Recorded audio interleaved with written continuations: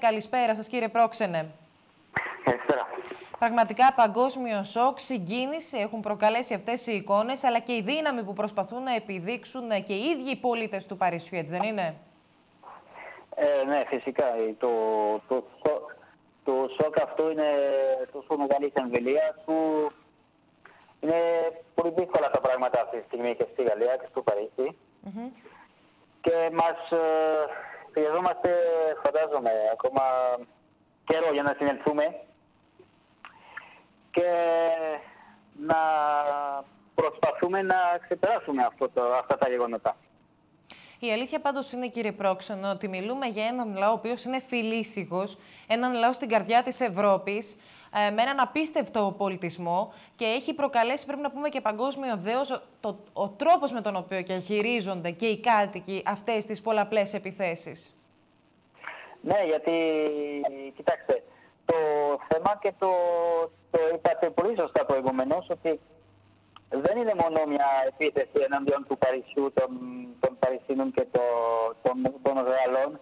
Είναι κάτι που ξεπερνάει σε πολύ αυτό το ε, τη διαστασία. Δηλαδή, ε, αυτό που πρόκειται για μια μάχη του, του πολιτισμού με τη βαρβαρότητα και αυτό που, αυτό που ζήσαμε την Παρασκευή το βραδύ είναι ένα τραγικό επεισόδιο ε, φυσικά γιατί ε, είναι μια αμφισβήτηση ε, των αξιών μας της πολιτικής μας κληρονομίας, της πολιτιστικής μας κληρονομίας και πρέπει να, να ξέρουμε ότι πρέπει να, να παλεύουμε κάθε μέρα για να προστατεύουμε αυτή τη, αυτή τη κληρονομία που είναι η, η δική μας, η, η κληρονομία της Ευρώπης δηλαδή. Αυτά τα γεγονότα θεωρείτε ότι έχουν αλλάξει πλέον την Ευρώπη, κύριε Πρόξενε, που βλέπουμε ότι αρχίζει και φοβάται ή αρχίζει και σκέφτεται ε, διαφορετικά; Το... Είναι λίγο δύσκολο να, να κρίνουμε την κατάσταση τώρα, γιατί είμαστε Δευτέρα, έγιναν αυτές οι επιθέσεις στη Παρασκευή το βράδυ. Είναι πολύ νωρίς να, να πούμε τι, τι άλλαξε. Αυτό που βλέπω εγώ από τις ε, αντίδρασεις στη Γαλλία, από τη συζήτηση που είχαμε με Γαλλούς ε, φίλους συγγενείς, είναι ότι υπάρχει αυτή η βούληση να, να συνεχίσουμε να, να μην υποκύψουμε, να μην υποχωρήσουμε στις αξίες μας.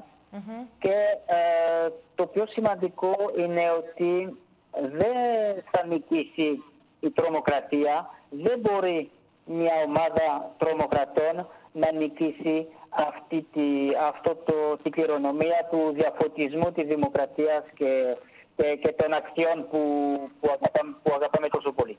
Να ρωτήσω βεβαίως αν αυτό μπορεί να αλλάξει ίσως την οπτική γωνία που έχει ο κόσμος για το προσφυγικό, διότι υπάρχουν και οι πρόσφυγες οι οποίοι και έρχονται από τη Συρία. Εάν πλέον ο κόσμος τους αντιμετωπίζει με φόβο ή αντιλαμβάνεται την κατάσταση στην οποία έχουν περιέλθει και αυτοί; Κοιτάξτε, είναι μια αλήθεια την οποία δεν πρέπει να ξεχνάμε. Είναι ότι οι προσφύγοι για τους οποίους μιλάμε αυτή τη στιγμή είναι και αυτοί θύματα της τρομοκρατίας.